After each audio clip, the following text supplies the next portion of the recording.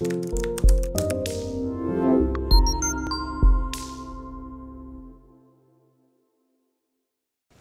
m'appelle Palme Gisèle.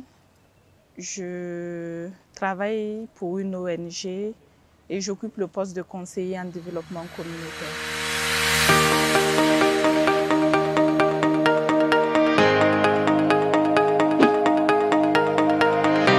Euh, la licence professionnelle, c'est un bac plus 3 et la licence professionnelle me permet de m'insérer facilement dans le domaine professionnel. Ça veut dire que dès que je finis la licence professionnelle, je suis apte à travailler dans le milieu professionnel.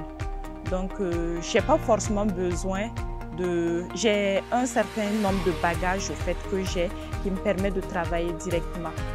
Voilà, alors que les, autres licences et la licence académique, il me faut faire forcément des stages pour renforcer capacités et tout. Mais bon, j'ai avec la licence professionnelle, j'ai déjà le niveau ça.